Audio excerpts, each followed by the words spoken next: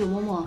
今天这个视频呢，是想和大家分享一下我平时是如何管理头发的。因为我的头发烫染次数比较多，差不多三个月左右的话，就会去烫一次或者是剪一次。加上我发量也不是很多，比较细软，而且还是短发，所以呢，我就会比较注重头发一些塌扁啊和干燥的问题。时间长了，也累积了一些经验，从洗头发。护发再到吹干造型，其实每一步都有很多小细节需要注意，干货很多，大家可以慢慢收藏观看。首先就是洗头皮，其实我们头皮每天都在分泌一些汗液或者是油脂，所以洗头的时候头皮的清洁非常重要。洗头发的时候，很多人会喜欢用比较热的水，热水容易刺激头皮的毛囊收缩，反而不利于清洁污垢。使用温水才能达到最好的清洁效果。洗头发的时候，有人喜欢倒着洗，有人喜欢站着洗，其实正确的方式。应该是站着洗，因为倒着洗不容易照顾到头顶部分的头皮，而且日积月累的话容易长颈纹和抬头纹。第二步就是涂抹洗发水，洗发水的选择呢，大家可以根据自己的需求去选择对应的产品。如果你和我的需求相同，也是那种发丝比较偏干，头顶容易扁塌的话，可以参考一下我这次使用的这个。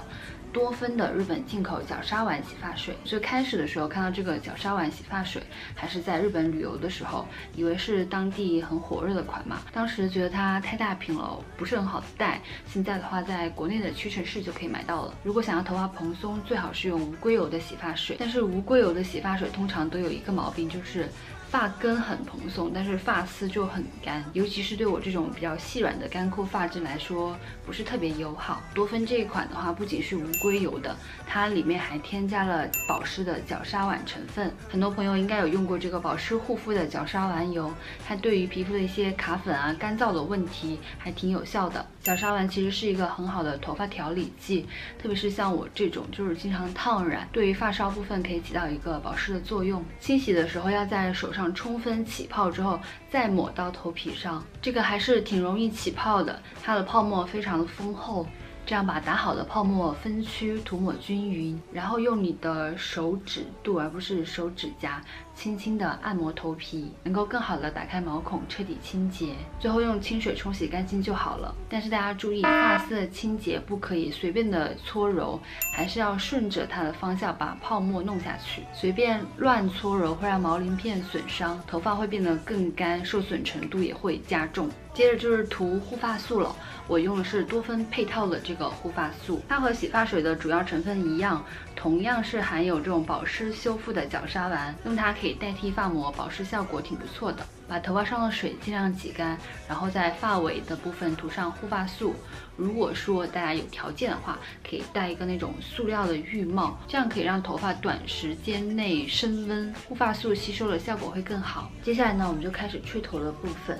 像我这种短发，这一步做得好的话，可以省去二次造型的时间。第一步就是用毛巾充分的挤压掉头发上面的水分，不要这个样子来回的搓。第二步就用吹风机中档的温度来吹头皮，这个温度一定要是中档的，因为高温的话会刺激头皮过分的分泌油脂，这样头就白洗了。头发吹干之后，把头发这样子分区分层的来吹干发丝。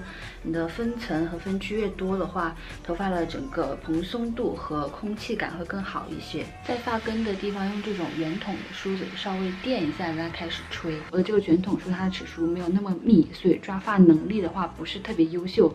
如果说你想要更追求那种造型感，可以去买那种更密的梳子，它抓发能力会更好。最外层的头发也是从发根开始。